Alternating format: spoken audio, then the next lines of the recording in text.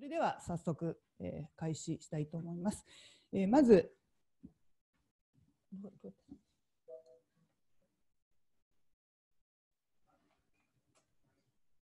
はい、えー、先ほどご紹介預かりましたが、私が海部、えー、こちらが渡辺、それからもう一人、えー、今日は仲間が来てまして、えー、長屋。という3人が今日は来ております。えー、シリコンバレーオープンイノベーションという、えー、グループを作っておりまして、えーまあ、日本企業のですねシリコンバレーでのオープンイノベーションを促進しようということでこちらで、えー、仕事をしている、えー、コンサルタントの、えー、集まりでございます。はい、ではあの CS えについては皆さん多分ご存知だと思うんですけれども、えこれまで CS に行ったことのある方どのぐらいいらっしゃいますか？あ結構皆さんご経験おありですね、えー、昔は Consumer Electronics Show と言ったんですけれども最近はそう言っちゃいけないという話になってまして CES と、えー、いうことになっております。で、えー、年の初めですね1月の初めの頃に毎年、えー、やってる大きなショーです。で簡単にこれまでの流れをちょっとみあの振り返ってみます。で、えー、上半分ですね、えー、はキーノートがどういうふうに変わってきたかということです。で、えー、2014年にですね、ソニーが、えー、あのキーノートを基調講演をしたんですけれども、えーまあ、日本の大きな家電メーカーが話をしたのはそれが最後ということになっています。で、えー、2015年ぐらいからは、えーまあ、それまでの、まあ、テレビとかエレクトロニクスというものからですねやや自動車にフォーカスが移りまして2015年から17年ぐらいまでがまあそのピークだったかなというふうにあの印象を持っております。で、えー、2018年あたりからちょっとその、えー、自動車ももうそろそろかなという感じが出てきまして去年は、えーと、自動車がキーノトをやらなかったんですね確かねえ。で AI 系のチップのメーカー等が話をしたんですけどもえでその続きで今年は一体どうなるんだろうとえいうことだったんですがえちょっと変わったキーノートとしてデルタエアラインズとかですねえが出てきました。それからあの最初の頃ですね、このソニーとかが活躍していた頃というのは、えー、まあ、テレビを売りたい人がこのショーに出てくるんですけども、それの中身である、まあ、ハリウッドのえー、俳優さんとかですねミュージシャンとかそういうあの華やかな人たちが来るようなそういうあの舞台のをやるショーだったんですけども、えー、それがちょっとその雰囲気があの一時ダーッと下がってたのがちょっと戻ってくるかなという気配がちょっと感じられたですね。あのなぜかというと2つあの NBC とそれからクイビという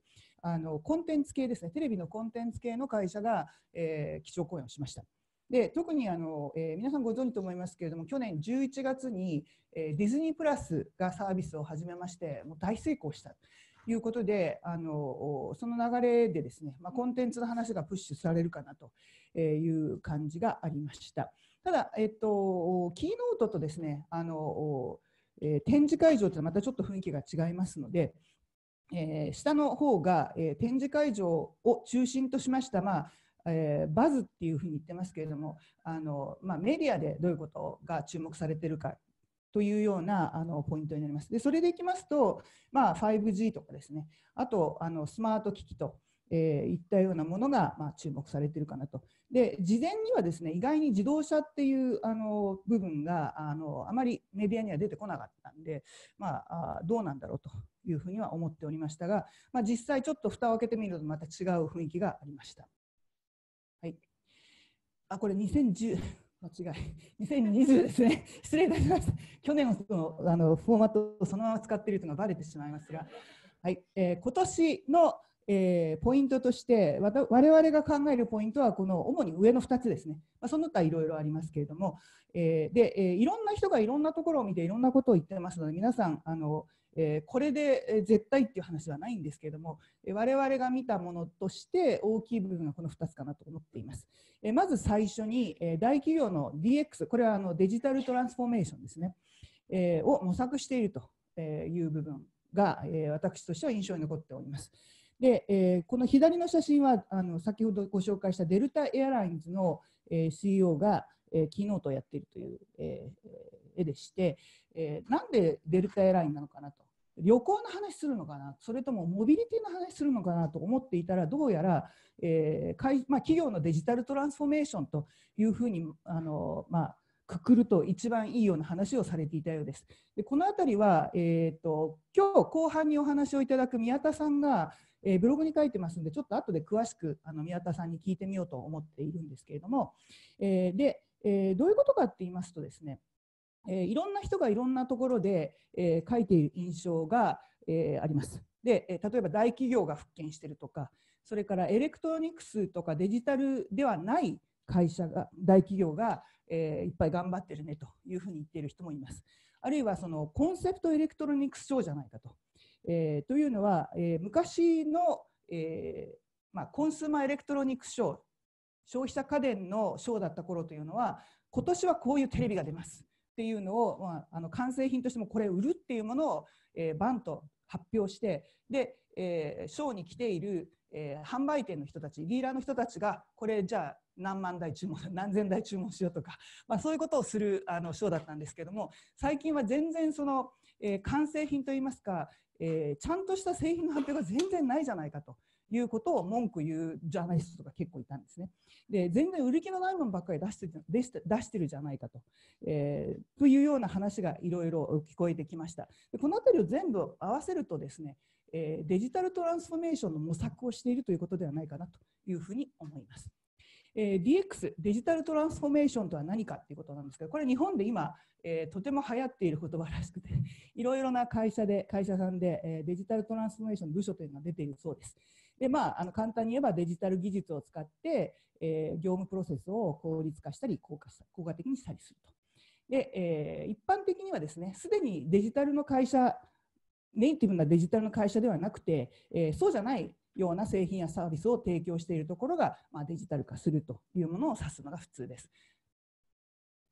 で、えー、これはですね、えー、DX の3段階で、えーと、デジタルトランスフォーメーションのあの権威である私たちが作った表なんですけれども、えー、第1段階はただ紙からあのデジタルにするというのからだんだん右の方は GAFA 的な世界に行くんですけれどもそのあのかなりこうあの進んだ段階でですねデジタルプロダクト自分たちが今まで出していたアナログなプロダクトをデジタルにするっていうような段階があるかなと思うんですけども、えー、で今回の CS ではそのハードウェアをやっている会社あるいはハードウェアをベースにサービスをしている会社がなんとかその自分たちのプロダクトをデジタル化しようと、えー、しているというふうに、えー、感じました。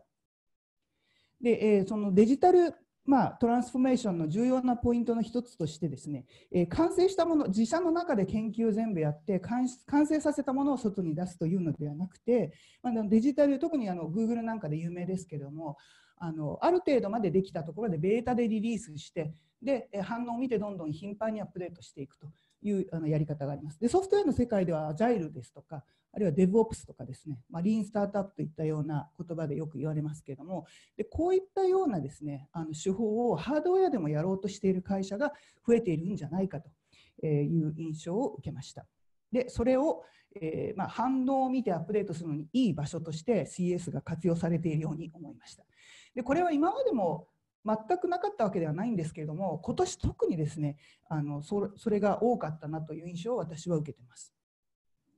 例えば、えー、一番その、えー、それが感じられたのがですね、えー、サンズエクスポっていう会社あ会場があります、えー、っとラスベガスコンベンションセンターというのがメインの会場でですねそこであのサムスンや LG のでっかいテレビとかやってるんですけど、えー、それとは別にサンズっていうちょっと離れたところの会場で、まあ、比較的新しい分野のものを、えー、見せるような、えー、会場になっています。でそこの2階がですね、えー、っとデジタルヘルスウェルネスフィットネスみたいなものとかあとスマートフォームが展示されているんですがそこの中でですね、えー、左がコルゲートで右が、えー、P&G ですねのスマート歯ブラシ対決というのがほとんど向かいのブースでですねこういうのやってましてこの歯ブラシにセンサーがついていてでどこの歯をちゃんとこう口の中で磨けたかっていうのを、えーと、スマホで track できるとかあるいはこのコルゲートの方はそのセンサーでどれだけ歯垢がついてるかっていうのも分かると。でそれをあの build up するあのされていないかっていうのをこう見えるようにするとかですね、えー、あとちょっと写真には撮らなかったんですあの入ってないんですけど子ども用にあの gamification であのいっぱいあの、えー、ちゃんと歯ブラシを歯磨きをするとなんかステッカーがもらえるみたいなゲームとかですね、まあ、そんなようなものを出したりしていました。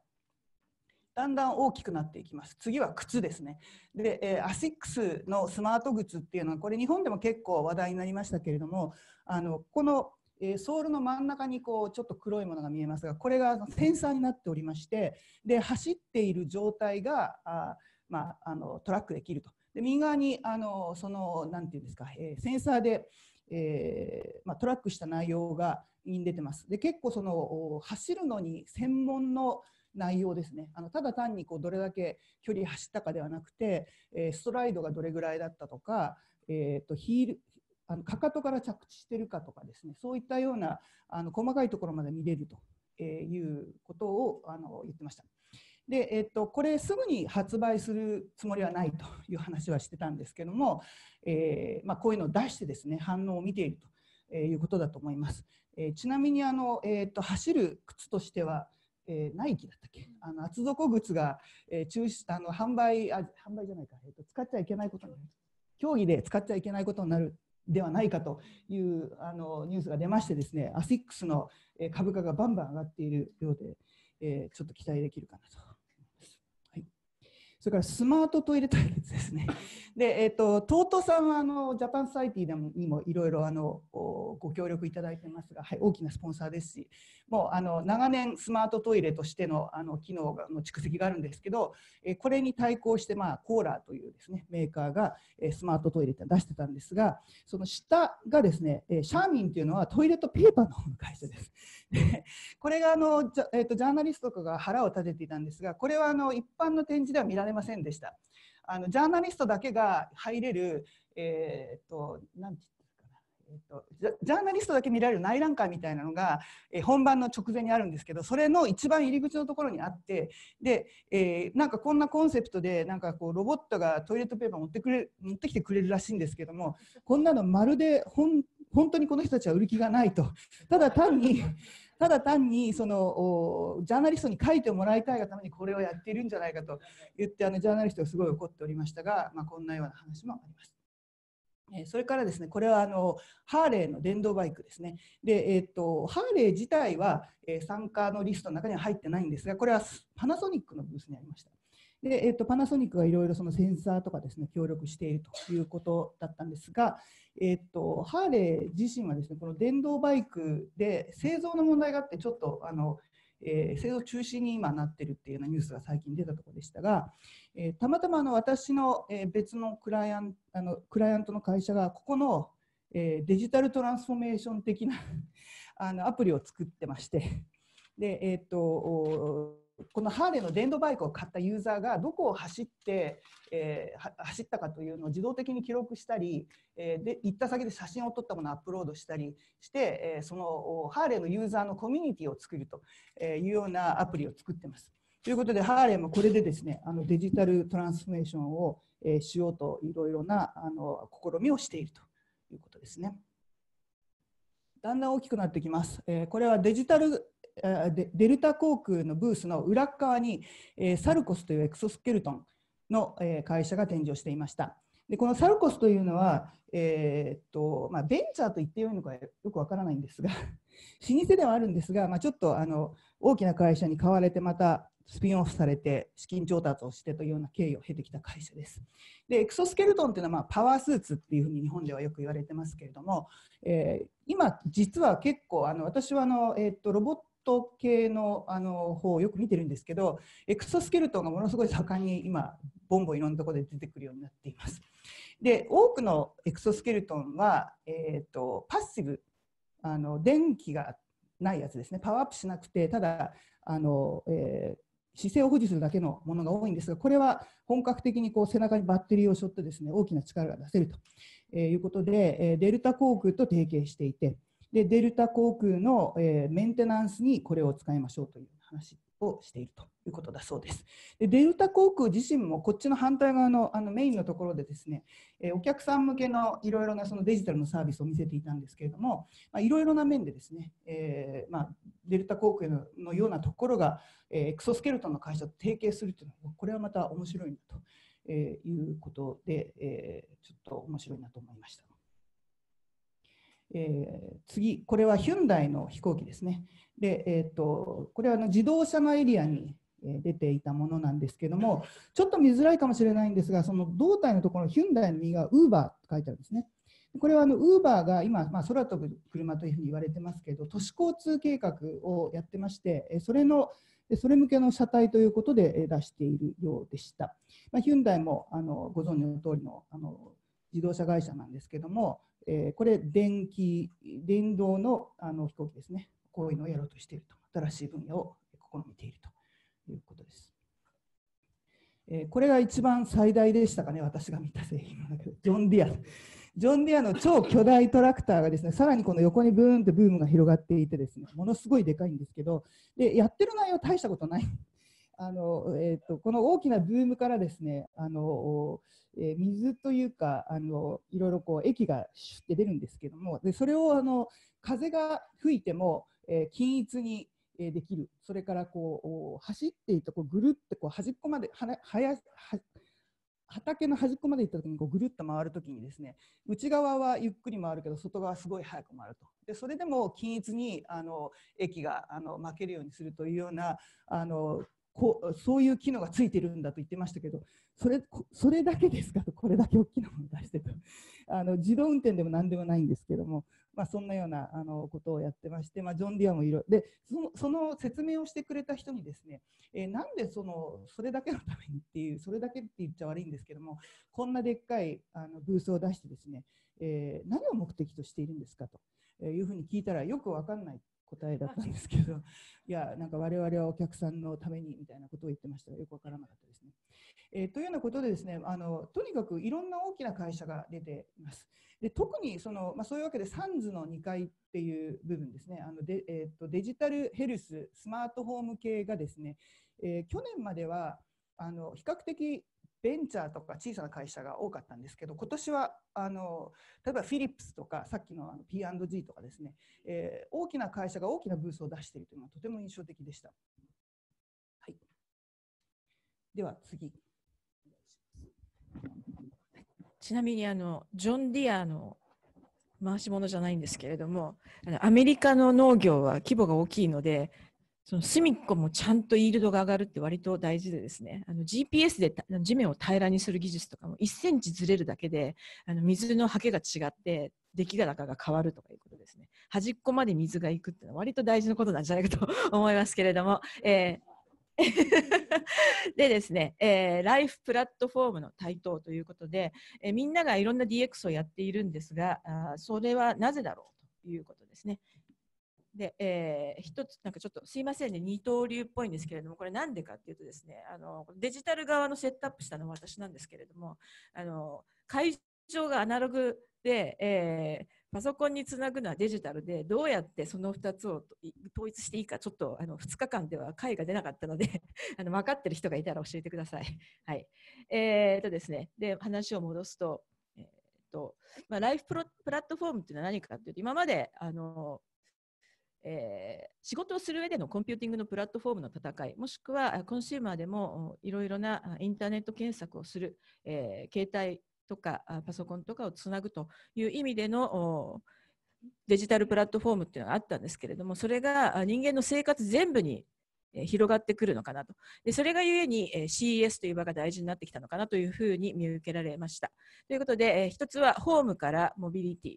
えー、さらにその見えてきたまあ、いろんな各社が目指している未来のライフプラットフォームの姿と、えー、いうことと、その UI は何だろうというのがありますね。で、えー、左の写真、あの左の下側は Google の展示の写真、これは海部さんが撮った写真ですけれども、えトランスレーション、なぜか no shellfish は訳すと貝なしだということでですね、何が言いたいんだろうという感じですけれども、えーまあ、ホームプラットフォーム対決とこれがあのここ数年、まあ、あの Google の、えー、Google ホームと、えー、Amazon Alexa、Amazon Echo が出たところでみんなが分かっていた戦いっていうのがありますよね。えー、家のボイスアシスタントの戦いっていうのがまあありまして、えー、実際に今回も Google も、えー、Amazon もいろいろブースを持って、え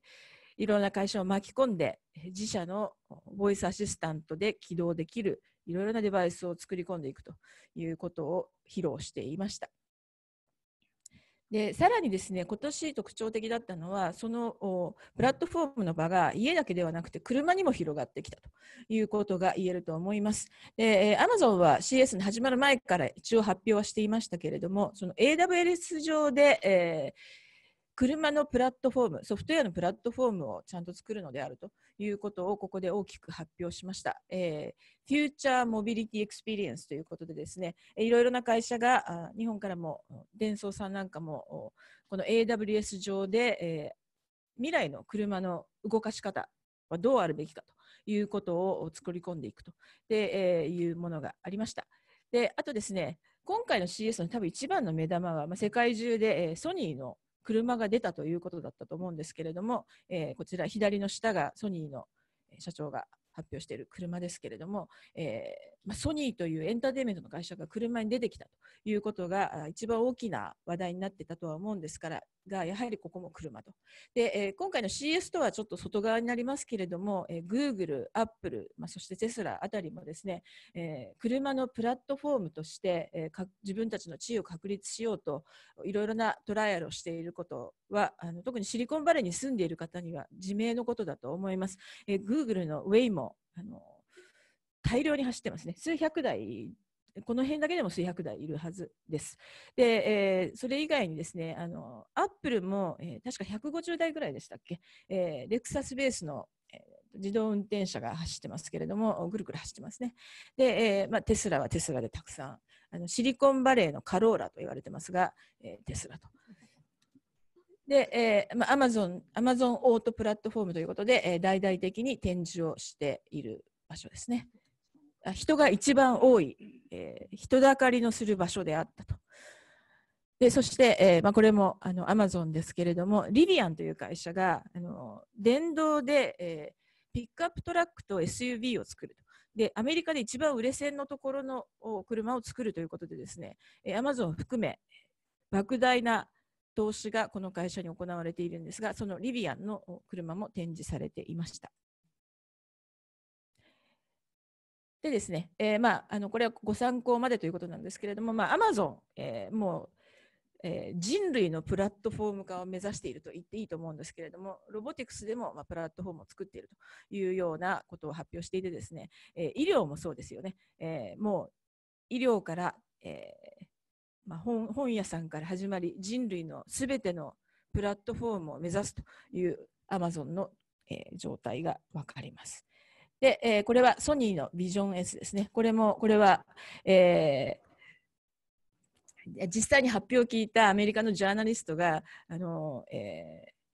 Xbox じゃないや、えー、ソニーは何でしたっけ？あ、プレイステーション。プレイステーションの新しいロゴがとか、エンターテインメントがとか、いろいろいろいろ話して、最後に、あ、バイザーウェイ車作りましたとか言って、えーって思ってるうちに発表が終わって、すごい驚いたと言ってたんですけれども、えー、ソニーの車です。で、えー、こう画面、前がずっと画面になっていて、それが非常に綺麗に動くということで、えー、話題になっていました。こうスムーズにさっさと動くんですね。で、えー、ここの、この車のすごかったところは、これ、ただのあ箱じゃないんですね。本当に動く車で、え性能がちゃんとある車を作ってきたと。でソニーの発表としては、えこんな風に動きますのでいろんなパーツとか、えー、まあ、シャシーとかいろいろ皆さん買ってくださいというコンポーネント屋さんとして来ましたみたいな発表してるんですけれどもここまで作って車をソニーブランドで売らなかったら私は怒ります。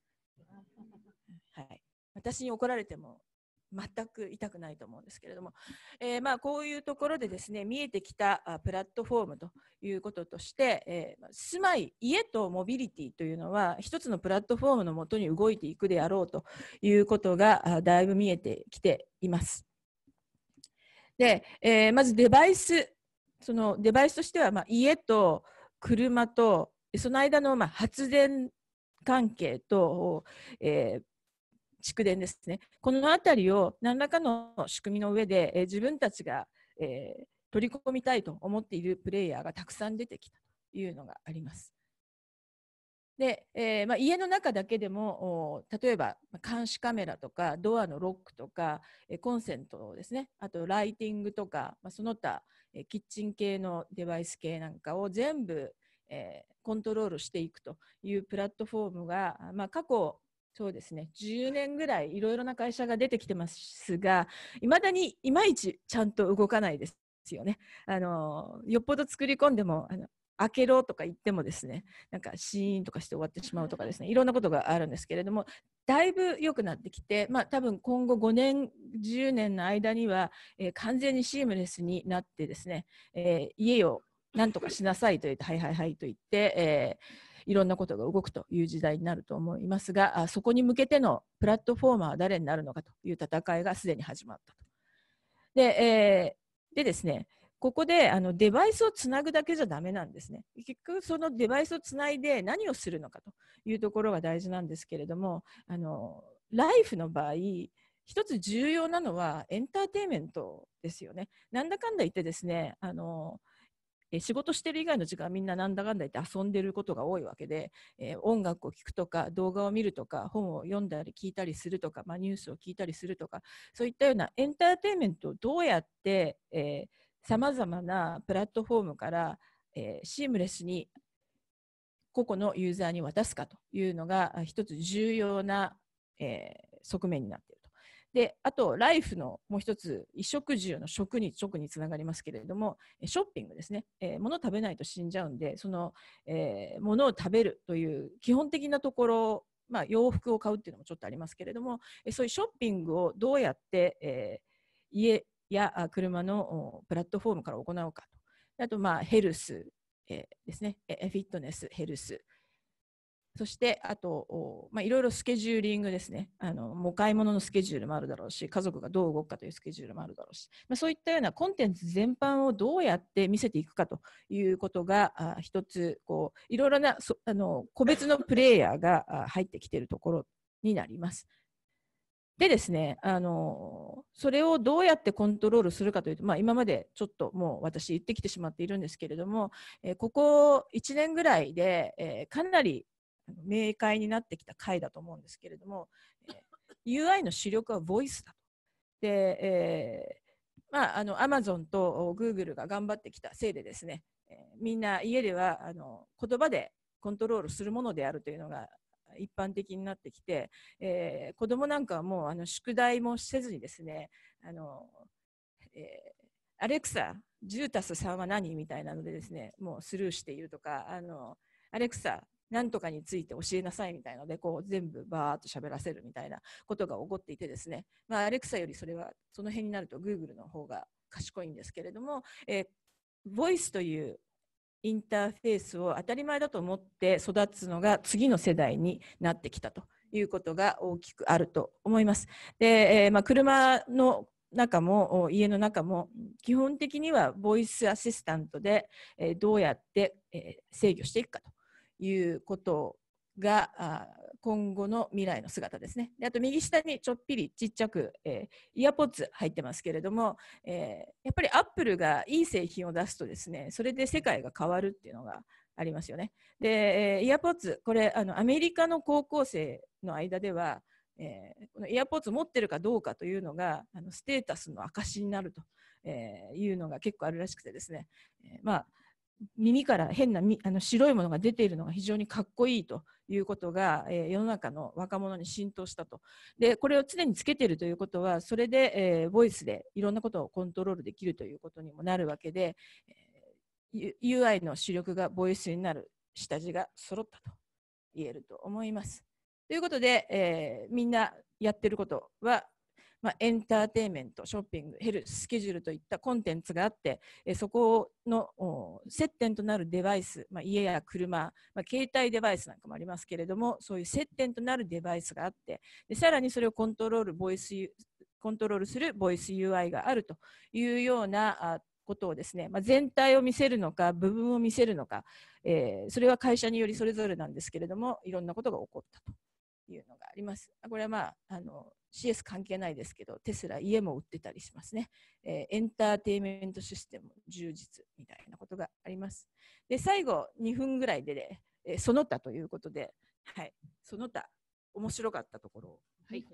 でえー、まずそのこの左の写真なんですけれども、えー、と CS のえー、展示が出ているものは全体の実は一部でしかなくてですね、えー、実は事件はこの、えー、その他で起こっています。でこれはあのホテルの中の、えー、スイートのあの階なんですけどこういうところにですね打ち合わせ室がいっぱいありまして、えー、ここにこうバーッといっぱいありますけどであの看板が出てるんですけどそれぞれの会社の、まあ、こういったようなところで商談ができるようになってますで、えー、皆さんあの CS 行かれるときについつい大きなブースを中心に見られるかと思うんですけれども、えー、こういうところでですねあのベンチャーが結構出てたりします。なのであの気になるベンチャーがですね、えー、こういうあのところに出している場合には事前にアポイントを取ってこういうところであの商談が結構できますのでぜひ活用してください。でえーと、簡単に 5G が今回あのとても大きなポイントとして言われてたんですけれども、えー、実は 5G というのはまだいろいろありましてですねあの T モバイルがやってるって言ってますけどそれはどっちかっていうとこう低い周波数のもので実はそんなにスピードが速くないとかですね、えー、えー、AT&T とかベライゾンはその速いのをやってるんだけれども全然ディプロイメントがあの電波があまり届かないんであのできないとかですね。一番あの、まあ、中心的な主力と言われている真ん中辺の周波数帯はまだオークションされていないとか、まあ、いろんな話がありまして 5G の設備はまだ当分あの、まあ、面的な展開といいますか行き渡るところまではいかないと。いうのが現状です。でこのためにですね、えー、まだ今回あの、えー、CS で、えー、5G の端末っていうのはそんなにほとんどなかったですね。はいえー、ということと、えーまあ、まだまだまだですねという話と、それからこれはあのストリーミングビデオの、えー、戦争ということで、えー、先ほどお話しした通りです。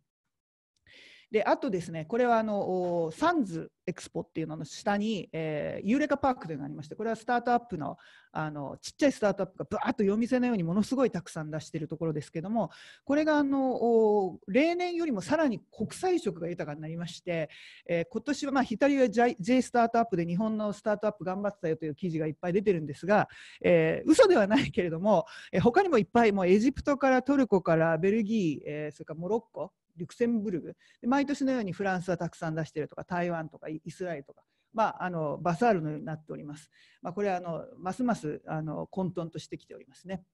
であとその他のその他これはあのインポッシブルバーガーですね。人工肉、えー、豚肉ですね。豚肉というところが、えー、ポイントです。新しい、えー、これはベータ。というあのお店っぽく見えますけれどもここはあの実物を展示してそのものを広告するという新しいタイプのあのお,、まあ、お店です。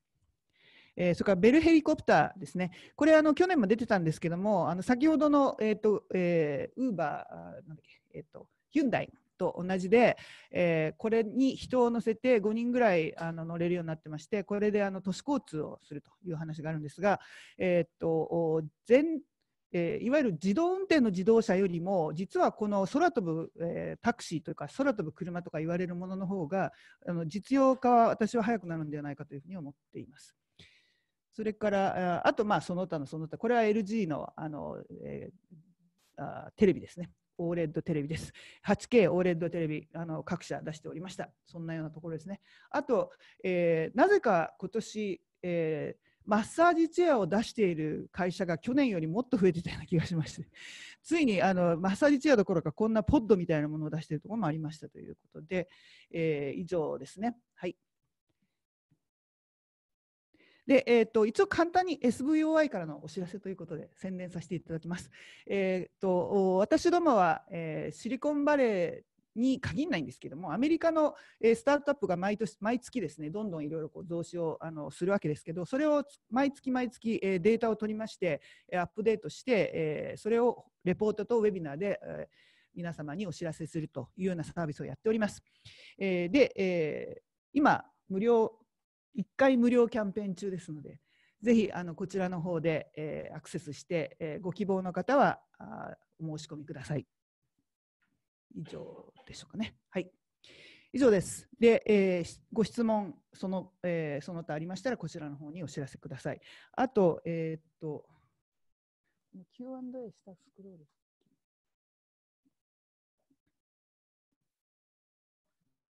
はい。まあ、あの全部この そうですね。じゃあ、えっ、と、特に、えっ、と、ズームの方からの質問もないようですので、えーとりあえず一旦休憩とさせてください。で、えー後半5時半からですね、えー後半 fireside chat、えースクラムベンチャーズのこう宮田さんをお迎えしまして、最後にまとめて Q&A やりたいと思います。えーお飲み物、お食事用意しておりますので、どうぞ皆様お楽しみください。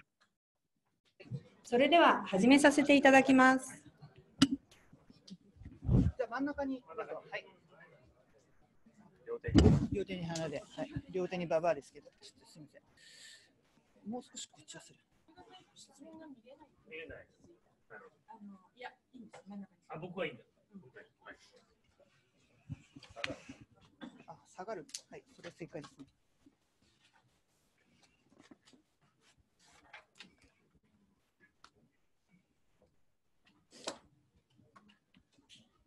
質問は後ではい。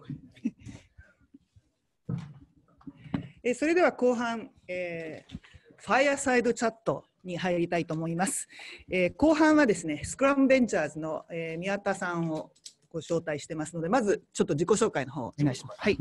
はい、えっ、と、宮田でございます。よろしくお願いします。えっとですね、今、えっ、と、サンフランシスコの方で、えっ、と、スクラムベンチャーズという、えっ、と、ファンドをやっておりまして、えー2013年から今7年目になるんですけど、えーアーリーステージ、えーを中心に今70社ぐらいですかね。えーまあ、さっき話があった車の自動運転とか、えーまあ、それこそ音声系のインターフェースの会社とか、えーまあ、e コマース、ヘルスケア、まあ、基本的にはあのカテゴリー問わず、まあ、世の中のトレンドを追いかけるような投資をしようということでやっています。はい、よろしくお願いします。えーそれではまずちょっと,、えー、と宮田さんに。あえっ、と、ズームで見てらっしゃる方、聞こえますか？大丈夫でしょうか？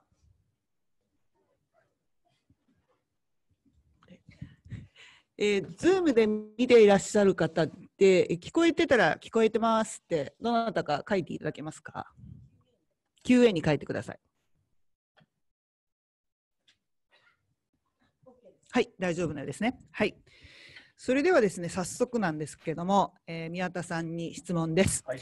えーっと、今年 CS に行かれたとはいいうことですけれども、えーっと、今年何度目ぐらいですか？今年何回目ぐらいですかね ?10 回目ぐらいですかね？えええーっと、今までと比べて、今年の CS で特に気になったことっていうのは何でしたか？えーそうですね。まあ面白かったですよね。面白かった。うん、で、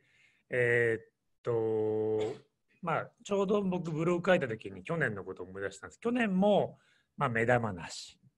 だからまあそのその前で言うとやっぱ車来たよねとかで僕ら34年前はやっぱりもう音声に興奮しててやっぱもうエコーの時代来たねみたいな。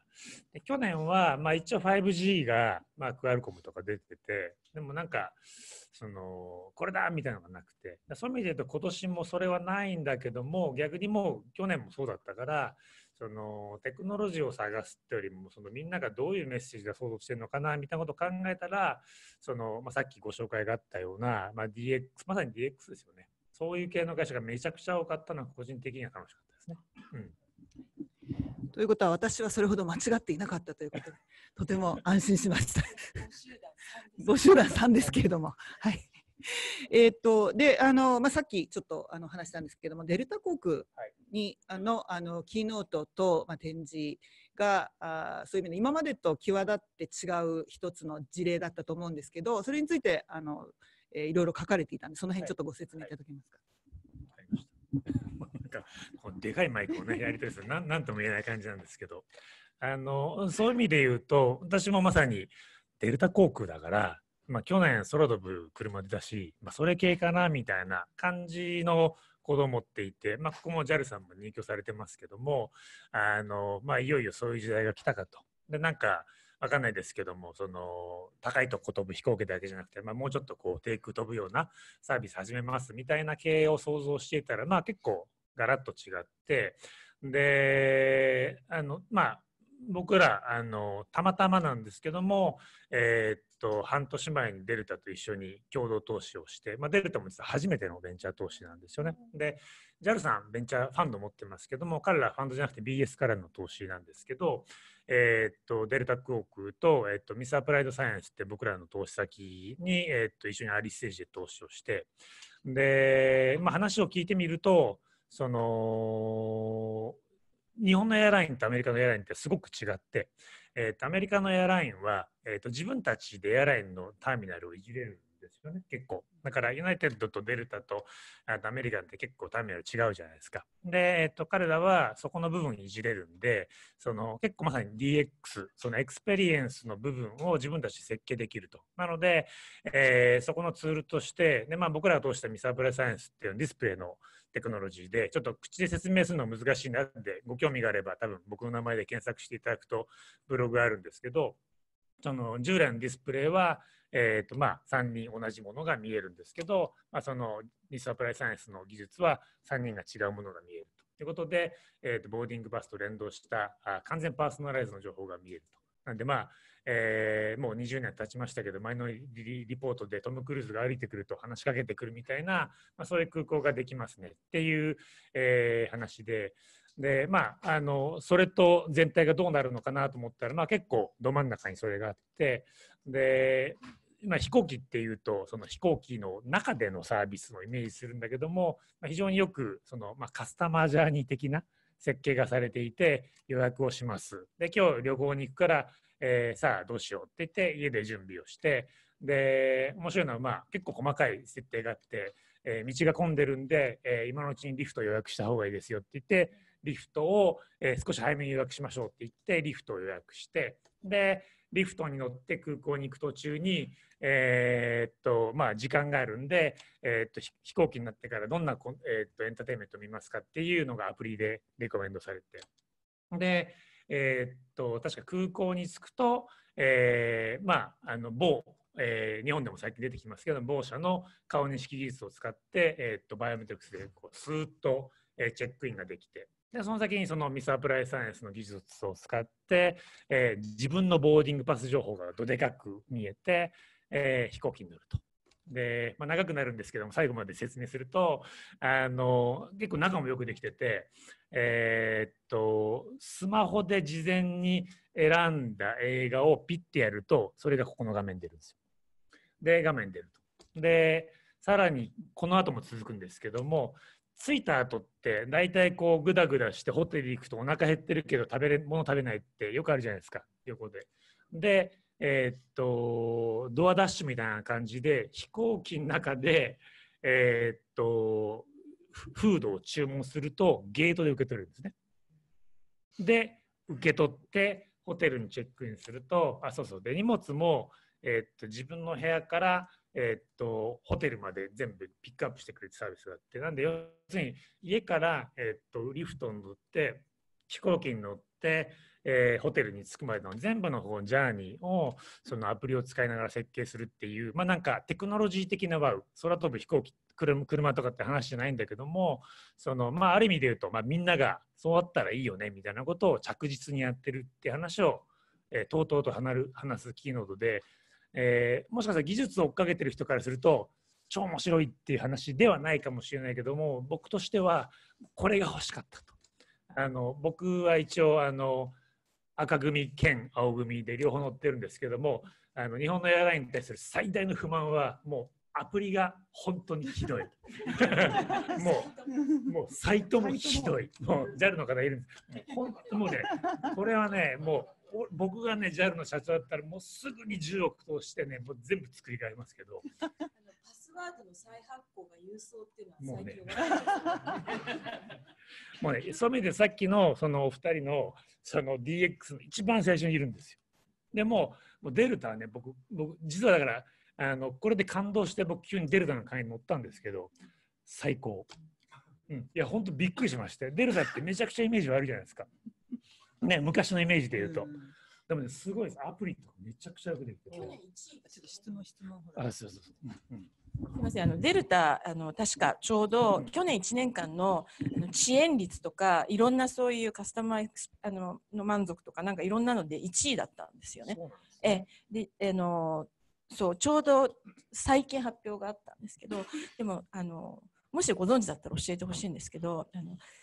最近ここ10年ぐらい必死で IT 投資を、まあ、DX って呼ぶかどうか別としてソフトウェアに投資した会社とそうじゃない大企業の差が出てきたって感じがすごいしてで例えばあの UPS と FedEx で UPS1 兆円ぐらいかけてあのルートのオプティマイゼーションのソフトウェアとかいろいろいろいろやってで FedEx はついにあの Amazon に1ヶ月切られましたみたいなことになったと。で UPS はうまくいってであのウォルマートもあの私あの、えー、ウォルマートお金かけてもかけても何も起こらない会社と思ってたんですけどここ2年ぐらいついに業績良くなってきましたよね。でもかけたお金半端じゃないですよね。1兆円とかじゃ効かないかなみたいな額をかけていると。そういう意味でデルタっていつ頃からどれぐらい予算をかけてその DX やったかって分かりますか、それはね、全然分かんなくて、だからそういう意味で言うと、その昔のイメージでもう、まあ、ユナイテッドもひどいけど、デルタってさらになんかこう、ひどいイメージで、もう絶対乗るかって一回乗ったことがあったんだけど、マイルの番号を持ったことなかったんですけど、もうね、本当、騙されたと思ってアプリ、もう今度国内出張があったら絶対乗った方がいいです。もう、あの、このアプリだよ、これが欲しかったよ、俺はっていうレベルにすごい。うん、あのそういう意味では、極端な言い方をすると、その Google とか Facebook とかそういうノリでアプリが設計されてるから感動的でした。うん、だそういう意味で言うとちょっとなんていうかレベルが違うっていうんじゃなくてその JAL と ANA がこあなちょっと赤と青がこの辺だとするとこの辺にデルタが存在してるっていうそれはねでもその意味で本当 DX に対する発想の違いだと思う。うんその DX に関しては何か他の事例みたいなあの今回私がいろいろこうあのお見せしたものとかもあるんですけど、うん、何か他にこうこれは面白いと思った事例とかありますか、あの僕も P&G のブースに行ってで、えー、まああのトイレに座るとトイレペーパーがビューとくるとかまあしょうもないデモなんだけどでもね僕これすごく大事だと思っていてそのえー、っとなんていうか、えー、まあ 5G とか、えー、っと空飛ぶ車とかそのなんていうかホリゾンタルなというかテクノロジーではなく自分たちのまあエアラインとか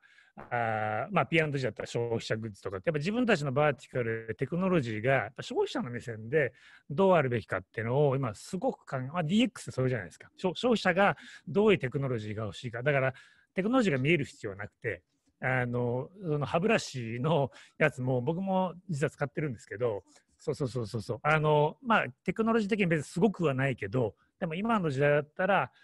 歯ブラシがアプリで操作できてほしいって多分みんな思うしあの変な話そのテスラ僕も車テスラ乗ってもあのテスラ以外の車はもうあの車じゃないと僕は思ってるんですけどスマホであのこの寒い今日は朝寒かったじゃないですか。で、朝僕ジムに行く30分前に車断気できるスマホからね。で、でもメルセデスとかできないわけです。もう一回それやっちゃったらもうメルセデスは車じゃないと。こんな暖気が、スマホから暖気ができない車なんてもう車じゃないと思うんですけど、多分そういうその、なんていうか、消費者として今の時代スマホがあって、エアポッドがあってっていうレベルの、その、まあ、UIX っていうか、 experience が設計できてる会社はやっぱり勝ちますよね。これから。ちなみにあの、えー、ウェビナーの人からの質問なんですけれども、え brain tech なんかありましたかっていうのがあって、うん、えー、ブレーンテックあのちょっとブレーン、えーと、フランスの会社で、えー、ブレーンコンピューターインターフェースみたいなの出してるところはあったんですがあんまりめぼしいものはなかったと。いう感じですね。あれはやっぱりサイエンスなので、まだしばらくはかかる。あの要は頭になんかくっつけて、そこから読み込んだもので、えー、周りのものを動かせるみたいなのは、まあまあ、あの限定的にはいろいろできるようになってくるけれども、まだまだ少しかかるかなと思ったんですが、なんか。えっと、CS の展示では見かけなかったんですけど、あの去年の、えー、多分ベイエリアで注目されなかったけど、個人的には注目 M&A ナンバーワンだったのが、Facebook がコントロールラボ。で、あれはね、すごいですよ。うん。えっ、ー、とね、あのちなみにどんな話かっていうと、まあ、あの皆さん多分ご記憶にあるのが、えーまあ、ブレインマシンインターフェースって、えっと、脳みそにあのプラグ突っ込むってイロ・マスクが言って、まあ、これからの時代は脳みそから直接コンピューターいじるんだって、まあ、イロ・マスクが言いました。すげえと。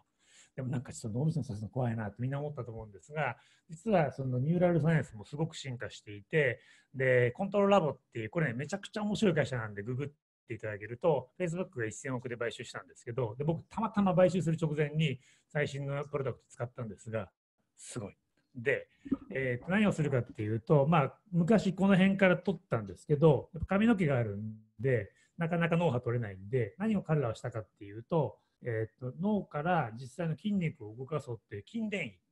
で、えっと、ここの EEG は結構取れるっていうんで、腕にこういうリングをつけるんですよ。でそうすると、まあ、ここまでは、例えばだから、えーっと、まあ、簡単に言うと、こう波動拳みたいな、よくあるね、ここから絵が出る。でこれって脳みそ的に本当波動拳飛ばしてるじゃないですか。で、えーっと、これね、めちゃくちゃ綺麗に、ほぼ0点しなく取れるんですよ。で、実際、えーっと、まず、えっと、グー、チョキ、パーみたいなものはもうほぼ取れるし、あとすごいのは、手動かしてないけど、みみなんていうか人差し指を伸ばしたいと頭で思うと、コンピューターの中でピコピコ動くんですよ。手動いてないけど、僕の脳みそから指に動かせって言うと動かす。というレベルの会社が実はもう存在していて、えー、Facebook が買収したんで、それがじゃあ、えっと2年後、まあえっと2020年の5月の F8 で、まあ、僕ちょっとなんか発表するんじゃないかと思っていて、でこれができると、そのバーチャルリアリティのインターフェースがこういうものじゃなくて、こう、こうやって頭の中で考えるとこうピピコピコピコ動くみたいな世界は技術的には存在しているので、あのその辺かセセスと関係ないですね。あの全くセスと関係ないですけどまさにそれあのアームバンドみたいなやつですよね。それを使ってすごくサイファイチックな義手を動かしているデモのビデオが出ていて、あのまさに人差し指を立てるって思うとピッて動く人差し指が出るっていう義手のあのビデオが世の中に出回ってますのでよかったら見てみてください。あと,、えー、とまたあのウェブからの質問で、えーヘルスケア系で何か面白かったものはありますかということなんですが、ヘルスケア系、ヘルスケア系、何がありましたっけ？うん歯ブラシ？あとはなんかあのスリープテックとかうん。マットレスとか、うんそうですね。何がええまあ、一応僕も3部2回行ったんですけど、じゃあ何が面白かったでしょうか？テクノロジー系で。テクノロテいや何でも何でもいいんですけれども何が面白かったですか？あのそういう意味で言うと、僕らやっぱり、えーっと、ちょっと、えー一歩引いた話をすると、えーと、2015年ぐらいに、まあ、えっと、多分、えー、Facebook がオクラス買収したのが2015年だと思うんですね。で、その時に改めてバーチャルリアリティ何なんだって考えました。で、その時に、あ、これは、その僕らがまさに車とか飛行機とかモビリティを使っていろんなことをしていることの延長線上にバーチャルリアリティがあると。つまり今僕らは、えーっとまあ、楽天のアメリカに来るために飛行機に乗ったりとか、えー大阪に出張するために新幹線に乗ってるんだけどもでもそれって何かの目的のためにしていて実はバーチャルリアリティが進化すると僕らは移動しなくなると。今人類の移動距離でどんどんどんどん伸びてるんですけど実はどっかでこれピークに達して、えーっと21世紀に人類はどんどんどんどん移動しなくなる。で究極はマトリックスでプラグにつながれて僕らは1ミリも実は移動しなかったみたいな、まあ、この Zoom でねあの会議に参加するっていうのもある意味それに近いんですけど。で、えー何が言いたいかっていうとなのでこれから VR が来ると。つまり移動っていうのは無駄だっていうところから投資をしたんですけど。でも思ったより来なくて。VR って。で今僕実は改めてモビリティに注目してて結構これ先だから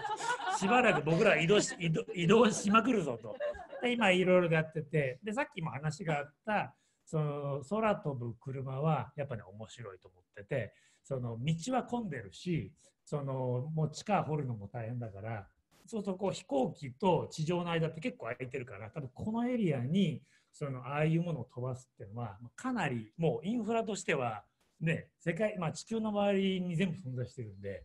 で今回しかもトヨタがジョビにあれだけ投資してでトヨタヒュンで、えーベルがやるとあの2023年まあ俺たちはついにあののび太くんになるっていうそういう感じが今 してるんですけど。ちなみにあの私あの、えースカイダイビングやったことあるんですけど、のび太くんはですね顔が痛いですあれは。あの一定速度で移動するって要は高速を走ってる車の上に立ってるみたいなことなんで あの自分の周りはカプセルで回さないとのび太くんにはなれないんですけれども、まあ、そんなことは置いといてですね。でも多分あと10年か15年するとその宮田さんがおっしゃってたえバーチャルリアリティでテレプレゼンスでえ移動しないっていう時代になると、えー不動産はどうなるのか街ではどうなるのかっていうのが割とみんな興味があるところかなっていう。えーだから今回もスマートシティみたいのがありましたけれども、えーやっぱり移動とか街の在り方で、えーまあ、移動もそうですしあとエネルギーですよね。あのオフグリッドでみんな生きられればこんなあの線の上に住む必要なくなるっていうことで。なんかスマートシティ系で面白いものありました？あのそういう意味で言うと、その、なんていうか、やっぱりトヨタのウープンシティっていうのは、もうなんか、まあ、もう2年ぐらい前から動いたプロジェクトなんで、まあ、みんな知ってはいたものの、その、やっぱりいいなと思っていて、で、まさにそのね、自動運転、この辺走ってるけど、まあ、難しいわけじゃないですか。この20世紀のインフラである道路に、その21世紀の自動運転の車を走らせて結構無理があるから、あのまあ、中国みたいにインフラから作らないとなかなか難しいよねと。でまあ、トヨタはすごく小小規模だから、けど、ああいうのやってて、であのビデオって皆さんどれだけ細かく見られたかなんですけど、すげえ面白いのが、地下にあのイーロン・マスクみたいにあのそうシェルターがついてるんですよ。で、あれ、実は自動運転だけじゃなくて、これから街は3次元になると。でその空飛ぶ車が上を飛ぶのも大事なんだけど、実は地下地下にそのデジタルインフラがあって、ボタンを押すと、その地上はやっぱコンジェストンしちゃうんで、地下を通ってビューッとくると。あれだなと思って。地下だなって今僕はね改めて思ってて 地下とその飛行機の下のこの辺のそのドローンとかが飛ぶねこの2つに結構ビジネスチャンスがあるというねなことないいや、あ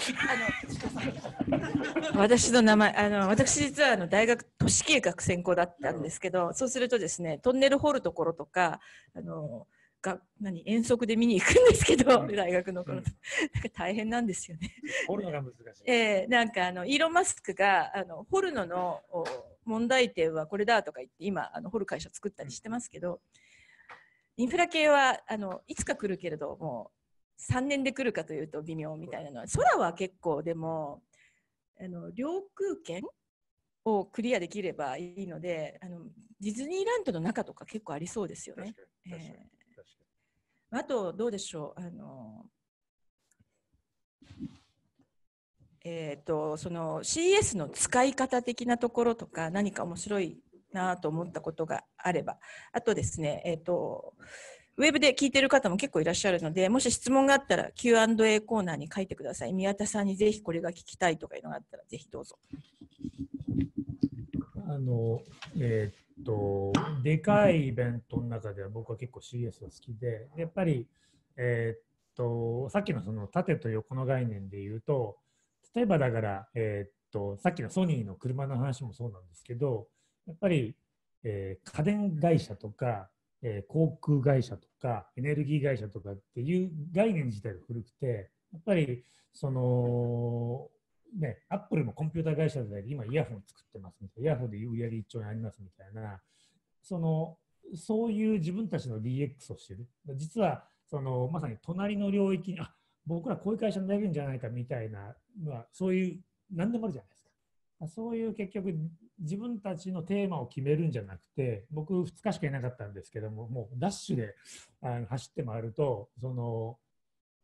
わけのわかんないインプットが大量にあって、で、それをその自分の事業に落とし込むんじゃなくて、どっちかっていうと発散的にこう未来を発想するみたいな、多分そういう使い方をした方がいいのが CS だなと思ってて、あの、はい、CS はね、大好きなんです。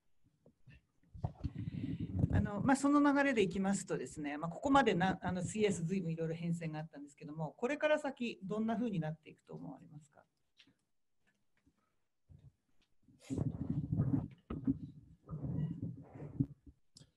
さっきあの街っていう概念がありましたけど、やっぱり、えーっと今回のそのデルタのとかを見ていても、そのなんていうか、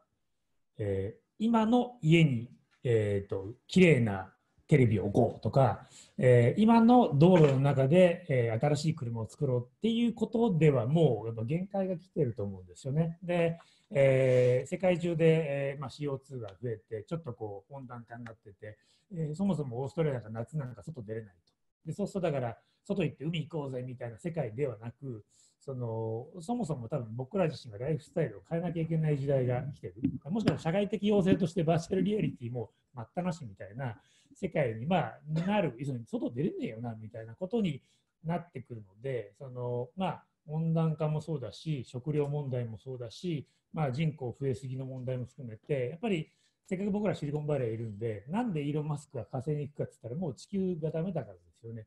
そういう前提で、その、なんていうか、あの20 22世紀が地球存在するのかどうかは知らないんですけど、まあ、21世紀後半に向けてその人類がどうどうなっていくのかみたいなことをあの考えるとか、まあ、問うようなテーマがなんかもっと出てくるんじゃないかな。まあ、で5年前だったら空飛ぶ車こんななんか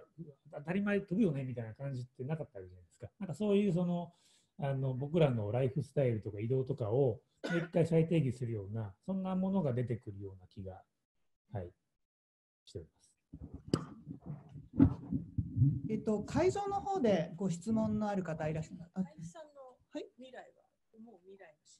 私の未来の CS ですか？いやもうあの今の路線で当分行くんだろうなっていうのは思うんですけどもあの確かブログで書かれてたと思うんですがあの主催者の、え Consumer Technology Association が、えー結構しっかりそのいろいろ世の中の流れに従ってこう割と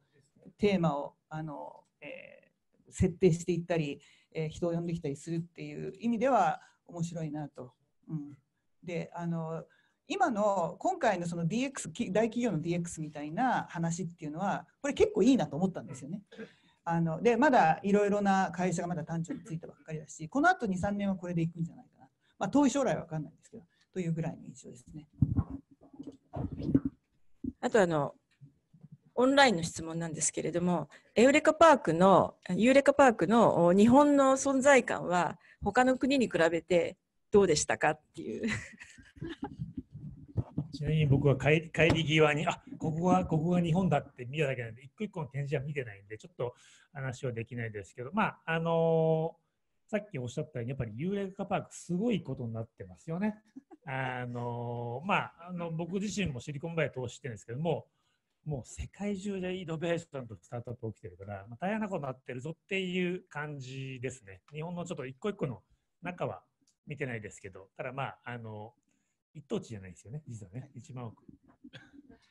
はい、あの、えー例年見てたあの経年でいきますと、えー去年までよりかは割とちゃんとしてたかなっていう でそれそれなりに人は来てたかなというであのおっしゃるように一番あユーレコユーレカパークの一番奥なんですけども、まあ、それでも割と人がいたと。でなんですけれどもあの他の国と比べてどうかというとまあワンの全部ぐらいですね悪くはないけどっていう感じです。はいはい、えー会場でご質問のある方いらっしゃいますか？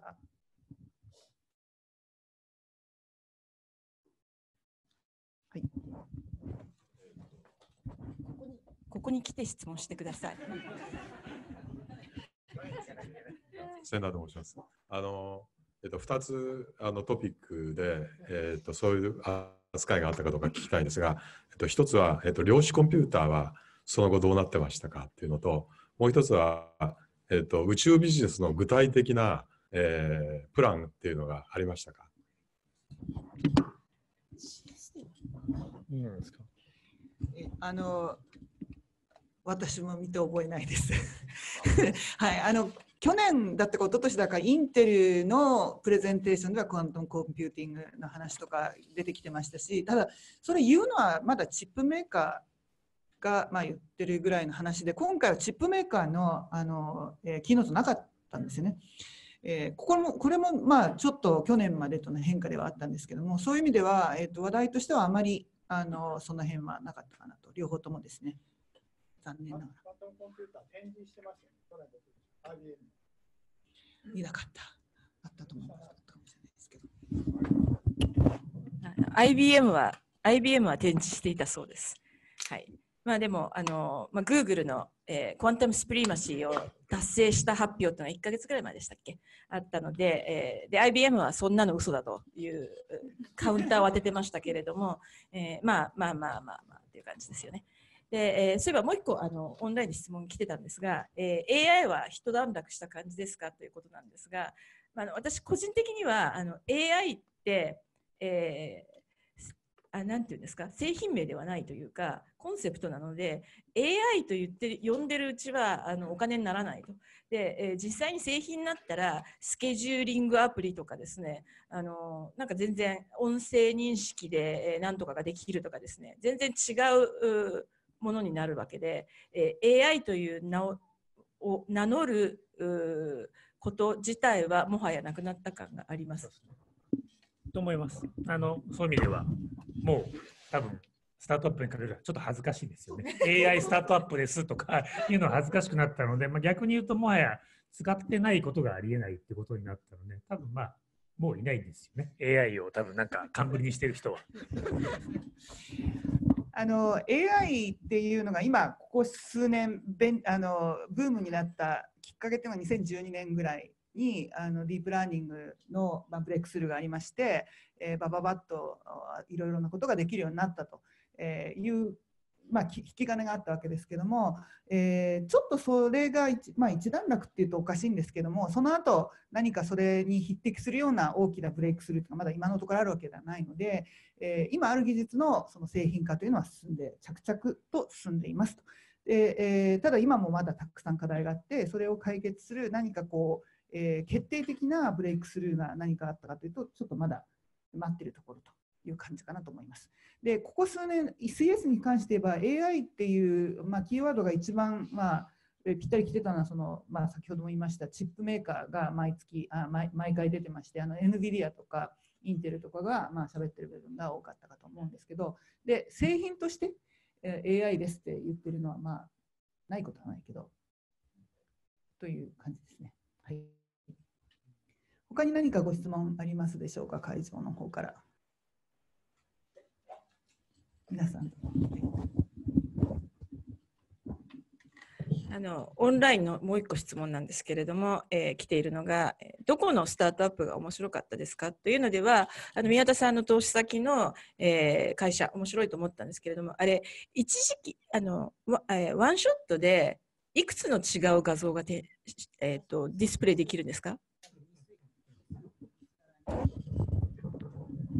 あのえー 繰り返しになります説明が非常に難しいんですけど、ものはあの動画が一応僕のあのブログには見ていただいて、えー一応理論上は、えー、と10万の単位がいけるんですよ。ただ一応今の、えー、とばそうだからかイメージで言うと国立競技場で全員が違うものを見る。ただもちろん分解能っていうのは基本的にはそのまあ僕らがこう顔を近づけて見ると同じものが見えるってことなのでそのどの距離で見るかとかによるのでなかなか一言では言いづらいところはあるんですがその一応イメージとしては国立競技場に座ってる人がでかいモニターを見るといらっしゃいませ渡辺様って全員が見える。あちち自分の名前が見えるっていうのが理論値です。ただ一応今は100人までっていう言い方をしててでまあ空港でその同時にそのデジタルサイネージの前に立つのってまあ100人以上立ってるシーンってあんまないじゃないですか。なんでまあまずはそのレベルからやろうっていう感じですね。ただ将来的にはその、えーっとえーっとニューヨークのタイムズスクエアの広告が自分の名前が出るっていう世界観で一応カメラをつけるとあのえぐいんですけど高級な車に乗ってる人には高級な広告がだし カローラ乗ってる人にはカローラの広告が出るっていうのが できちゃうというちょっとこう 恐ろしい世界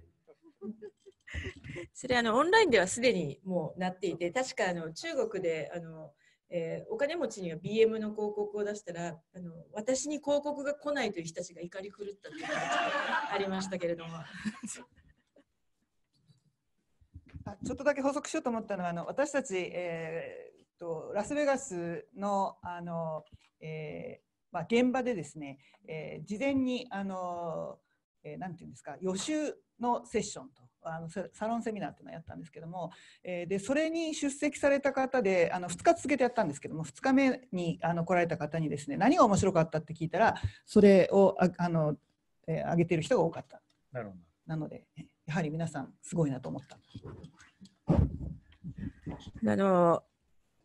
ちょっとそのサロンセミナーに来た人の話でちょっとなるほどと思ったのは深センで働いている人が香港に行くとあのお買い物の時にあのスーッとお店を出てしまいそうになってやばいと。深センではあの顔認証で何でも支払いが終わるのでこうスーッて通るだけでどんどんどんどん物事が進んでいくと。だから香港に行くとあのお金を払わずにいろんなところを通り抜けようとしてしまう。と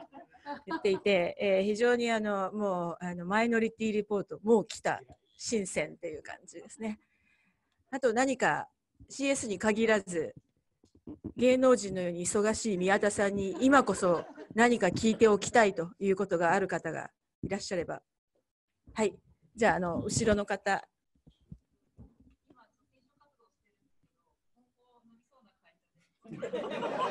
あの あの質問は、えー転職活動中なので目をつけるべき会社エリアがあったら教えてくださいというものです。めっちゃ面白い質問ですよね。あの日本を代表するスタートアップで楽天っていう会社がありまして、まあ、というのは冗談ですけど、えーっとまあでもやっぱりの伸びてるっていう言い方で言うと、あの今僕ら去年から日本の投資も始めて、えーまあ、ちょっと日本とアメリカどちらで転職活動されてるか分からないですけども、えーっと日本でいうとやっぱりもう明確にアメリカで起きたトレンドがまあ45年遅れてくるなと。で僕ら2014、15ぐらいに、えー、とこれからはそのアマゾンがえー、アマゾンとか楽天が既存にあるものを売るっていう e コマースじゃなくて、えーと自分たちで作るっていう、まあ、ダイレクトトゥコンスーマー D2C って今日本で大流行りしてるんですけどアメリカで D2C が勃興したのって56年前なんですよ。で今日本で記事も D2C、D2C、D2C 何を今更って感じなんですけど なんであのもし日本で探されるんだったらアメリカの5年前のトレンドを見るといいっていうのが一つのアドバイスでアメリカだと今何ですかね、えー、とちょっとまあ僕らの、えー、と2020年今新しいテーマで今その投資仮説を作っているカテゴリーで言うと、えーなのでちょっとちょっと転職活動よりは先かもしれないですけど今、えーコンストラクション建設それと,、えー、とクリスパーバイオとあとアグリカルチャー農業えー、とあとヘルスケア。ヘルスケアはね、やっぱりあの今もうものすごいお金がつき始めてるんで、こんなところですかね。なんでまあ、ちょっと未来の話と、えー、と前の話と、まあ、あの、はい、そんな感じかなと思います。じゃその前の方。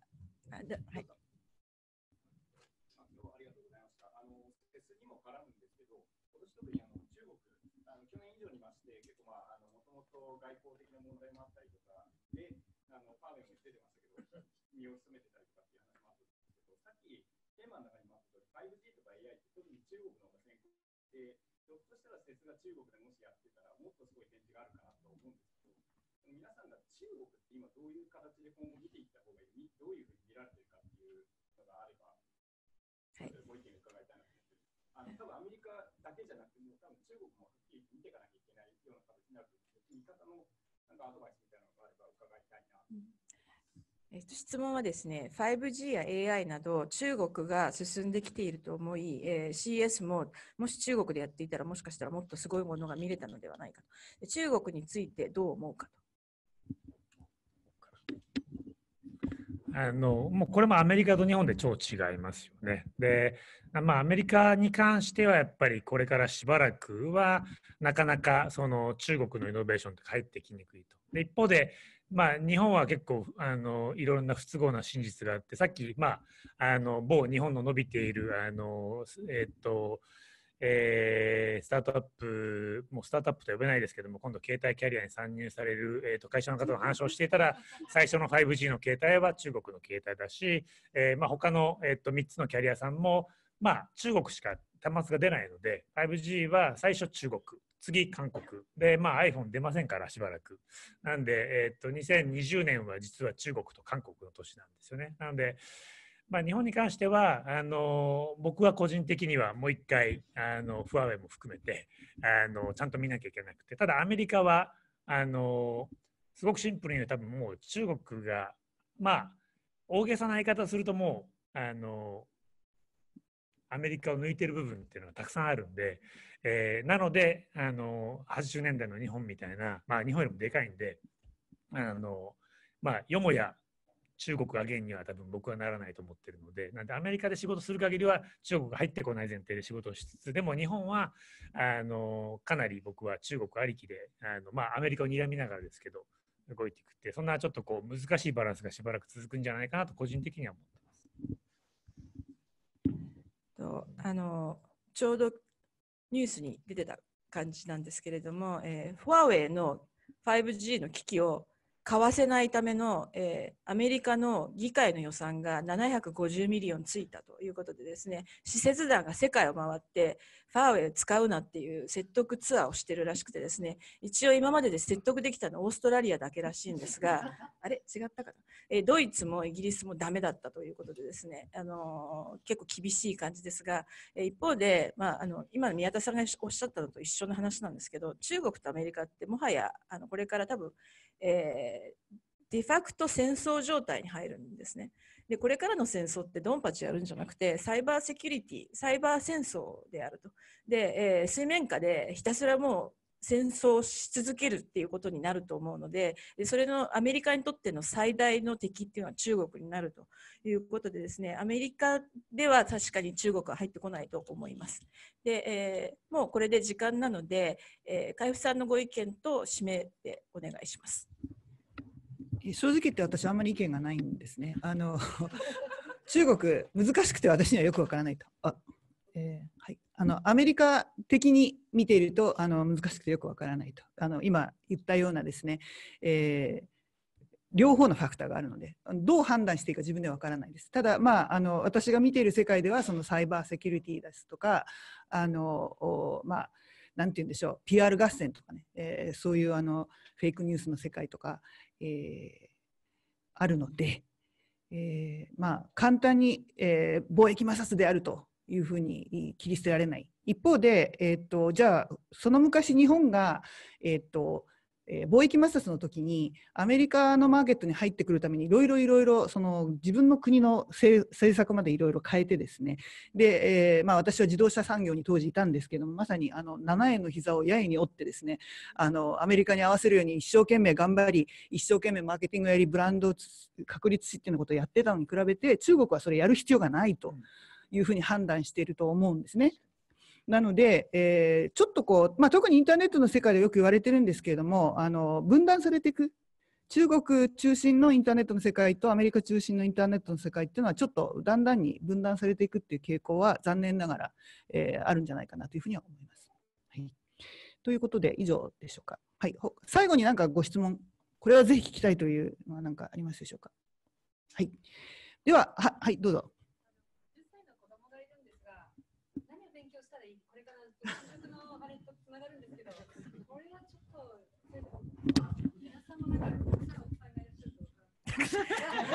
質問はですね、10歳の子供がいるんですが、えー何をさせたらいいでしょう。宮田さんはお子さんがたくさんいらっしゃるそうなので、知見を教えてください。えっとまああの多分時間もないと思いますシンプルに言うとやっぱりまあ僕今40、えー何歳だっけ？47 47 か47歳ですけどもその明らかにパラダイムが変わっているので自分の価値観で自分がこういう教育だったのを教えたらその子は確実に将来辛いと。要するにやっぱりあの僕の父親と僕よりもはるかに世の中が変わってるので自分がこうだったよなってことで教育をするのは絶対間違うと僕は思っていて、えーうん、で結局これから10年20年になった時の世界っていうのはやっぱりその車が安くなるとか高級になるっていうことじゃなくて空飛んじゃったりしたりとか そのそもそもそのテレビを見るんじゃなくて YouTube で探せるとかって話なので、えーやっぱりその新しいパラダイムを理解してその中で勝てるふうに育てなきゃいけないって僕はすごく思っていて例えば、えーっと昔、まあ、僕ずっとラグビーやったんですけど、えー子供は外に行ってかけっこしなさいまあそうだよなと。僕もそう思ってました。でもこれからじゃあスポーツって何なのかと。実は e スポーツじゃねえかと。ゲームをやらしちゃいけないっていう親は本当はバカなんじゃないかと僕は実は思っていてというぐらいまあちょっとこれすごいアナーキーな意見なんですけどもでもあの10年後20年後考えたら実はオリンピックで一番褒めたたえられてるのは体を使ったアスリートじゃなくて実は体は動かないけども昔だったら障害者だった人が実は e スポーツっていうスポーツでオリンピックの金メダリストになるっていうのが10年後確実に出てくるのでその時に筋肉ムキムキでどうすんのっていうのは多分考えなきゃいけないテーマかなと思ってます。